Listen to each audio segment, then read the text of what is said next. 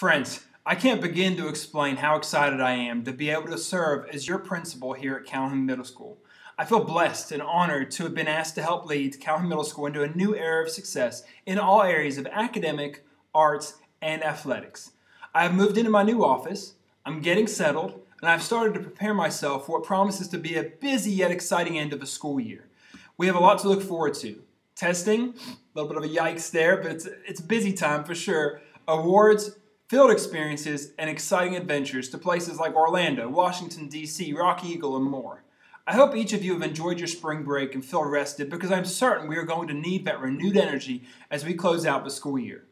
Although much will stay the same, many things at CMS will change over time. Staff communication is one of those things. I'm a big believer in delivering information in a variety of ways.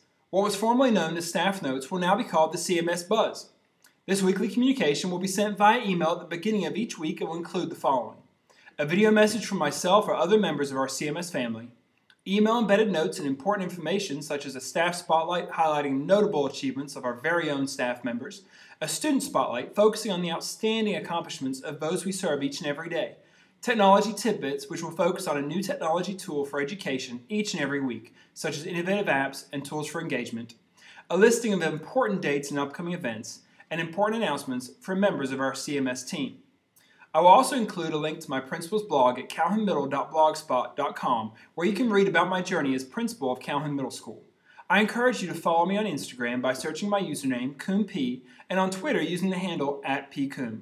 I will begin using these as my principal social media accounts where I can share important information with all stakeholders.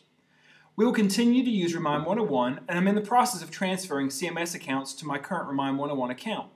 The first edition of the CMS Buzz will be published no later than this Sunday, and I encourage you to provide constructive feedback on the new format.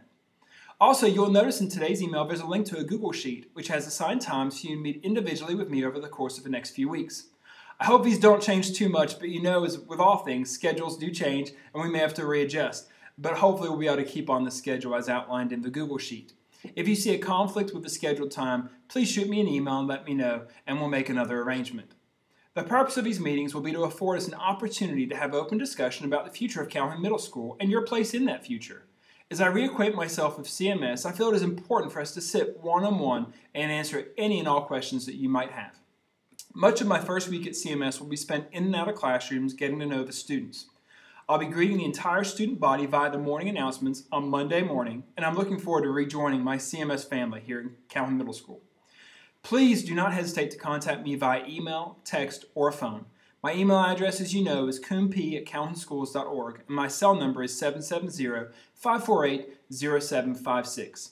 Although specific instructions will be included in the new CMS Buzz on this upcoming weekend, if you know that you're going to be out for any reason on Monday of this upcoming week, please go ahead and text, email, or notify me. I'll be your direct point of contact if you're going to be absent um, and then, of course, Michelle Doan and Casey Parker will back me up in that area.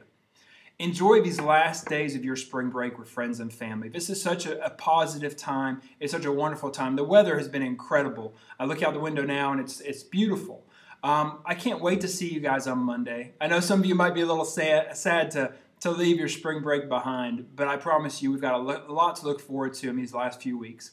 Hope you have a great time finishing out the week. Um, and I'll see you on Monday. Go Jackets.